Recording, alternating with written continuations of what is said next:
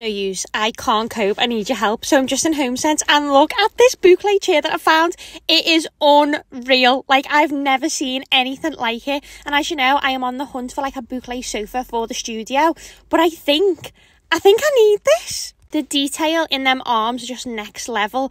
I've never seen anything like it. I do feel like though it might be a dupe of a really expensive chair but I can't find it. So maybe I am lying, maybe I have seen it before, but honestly, I feel like crying over this chair. It's actually not normal how excited I get over home furnishings, especially a boucle item. Like, how unreal. Should I get it? I mean, if not, I'm sure one of you are going to swoop it up, but Homesense strike again.